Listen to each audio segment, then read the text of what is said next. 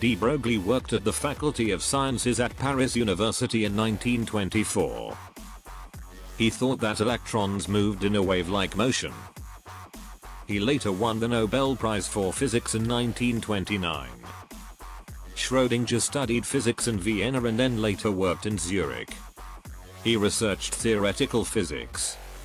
He believed that electrons moved in waves, like de Broglie. He created the quantum wave function to explain motion in the universe.